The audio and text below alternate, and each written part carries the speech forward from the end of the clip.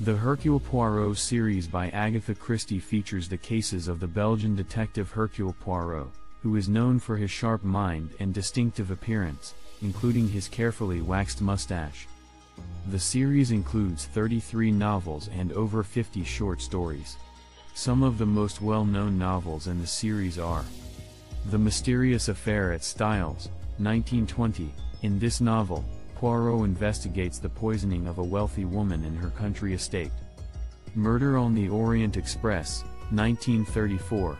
Poirot is a passenger on the Orient Express train when a murder occurs, and he must solve the case before the train reaches its destination. Death on the Nile, 1937. Poirot is on a Nile cruise when a young heiress is murdered, and he must investigate the passengers to uncover the killer.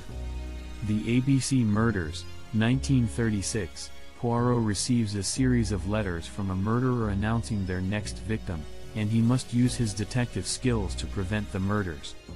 Curtain, 1975, this is the final Poirot novel, in which Poirot solves his last case and dies. The short stories featuring Poirot are collected in several volumes, including The Labors of Hercules and Poirot Investigates. Throughout the series, Poirot uses his skills of observation, deduction, and psychology to solve complex murder cases. He is often accompanied by his loyal friend and assistant, Captain Hastings, and later by other recurring characters such as Ariadne Oliver and Inspector Japp. The series has had a significant impact on detective fiction and popular culture, and Poirot remains one of the most famous and enduring fictional detectives of all time.